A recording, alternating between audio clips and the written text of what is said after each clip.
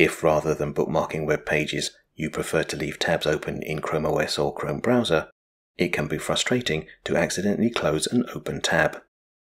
So in this video, we're going to demonstrate how you can restore a closed tab.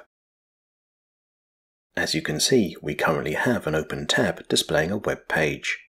So let's simulate accidentally closing that tab.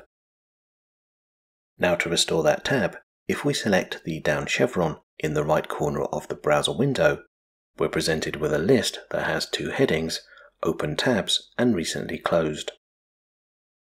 Under Recently Closed, we have a list of all of the tabs that we've closed, along with how long ago that we've closed them.